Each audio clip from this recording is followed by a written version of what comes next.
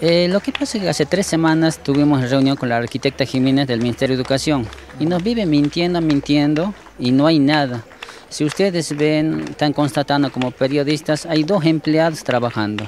Hace tres semanas atrás nos dijeron que iban a venir a trabajar muchos empleados y no hay ningún, eh, ningún empleado. Acá se les voy, nosotros presentamos una nota al gobernador de la provincia y acá dice bien clarito, el día 8 de enero presentamos al gobernador. Y el día 10 el gobernador pide, dice a la, señora ministra de Educación, doctora Isolda Calcina, su despacho, me dijo usted por un pedido recibido en la oficina privada del señor gobernador por parte del señor Benigno Tarque, presidente de la Asociación Cooperadora Escuela 51 Santa Rosa de Lima, quien solicita la conclusión y la finalización de la obra en el establecimiento educativo adjunto nota de pedido. Asimismo, le pedimos a usted nos informe con posterioridad la solución y la respuesta que considere conveniente. ¿Y no esto tenía fecha de terminación o de entrega en octubre del año pasado, es así? Octubre de 2019.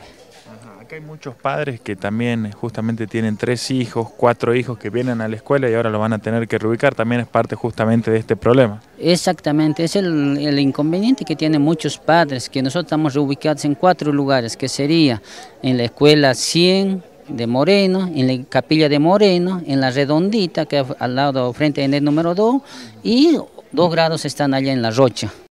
Sí, la arquitecta eh, lo que nos ha fundamentado que la empresa, por la devaluación, por el dólar que subió, supuestamente no, se no compraron todo el material. Entonces la obra está financiada con la de la nación. Entonces de la nación mandaban los fondos. Entonces el presupuesto que la empresa que presentó no les alcanzó, supuestamente ese es. Por eso hace tres semanas atrás se destrabó los fondos y la arquitecta nos tenía que dar una copia. ¿Por qué cantidad? Eh, no, se destrabó esos fondos. ¿Qué cantidad? Según ella, en ese día de la reunión nos dijo por eh, 7 millones.